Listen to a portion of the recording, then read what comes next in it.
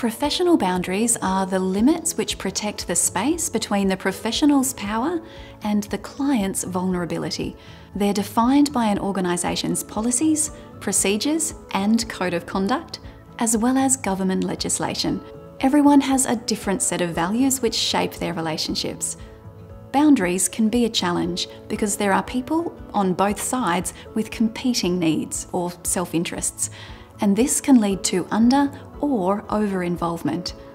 The onus is on the professional to maintain professional boundaries.